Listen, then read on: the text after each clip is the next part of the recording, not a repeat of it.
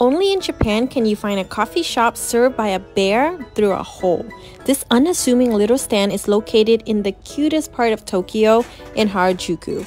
You put your order in via an iPad and there are no visible human workers.